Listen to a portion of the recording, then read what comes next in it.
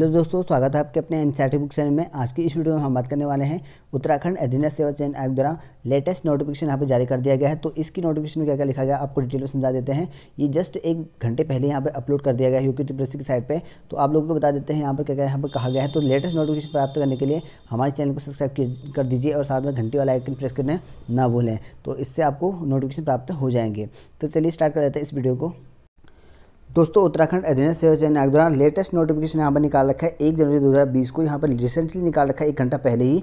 तो यहाँ पर देख सकते हैं पत्रांक संख्या और कार्यालय ज्ञान विज्ञप्ति देख सकते हैं। यहाँ पर लिखा गया है कि सूचित किया जाता है कि आयोग द्वारा दिनांक उन्नीस मई दो उन्नीस को ग्राम्य विकास के अंतर्गत सहायक लेखाकार पद को देख सकते हैं। यहाँ पे एट्टी वन पॉइंट वन की लिखित लिखित प्रतियोगी परीक्षा का आयोजन किया गया।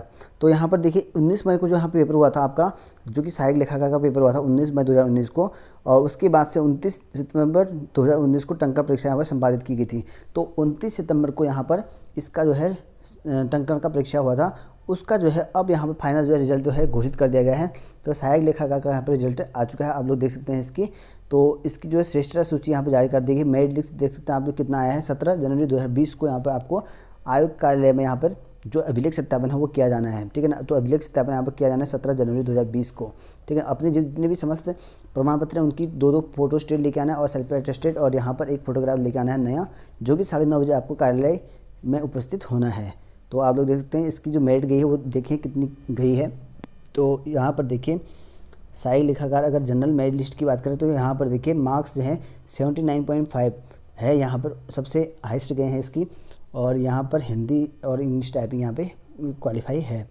और उसके बाद से देखें, इंग्लिश, हिंदी अलग अलग यहाँ पे कर रखे हैं।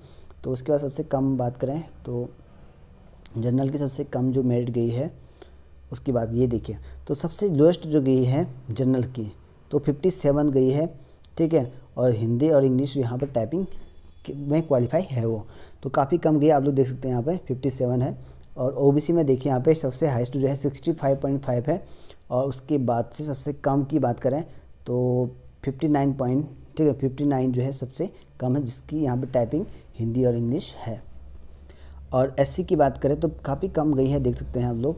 और एससी की बात करें तो आप लोग देख सकते हैं यहाँ पे सबसे हाईएस्ट जो है सिक्सटी पॉइंट फाइव है और सबसे कम की बात करें यहाँ पर एस की तो यहाँ पर forty five point two five है, काफ़ी कम गई हुई है।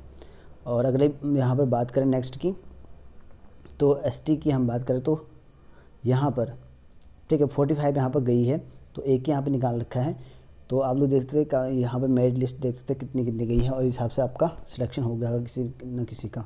तो देख सकते हैं यहाँ पे इस तरह से मेरिट निकाल रखी है, जो कि यहाँ पे साइड लेखाकार की पोस्ट आई हुई थी, ठीक है तो इस वीडियो में इतना ही, मिलते हैं नेक्स्ट वीडियो में।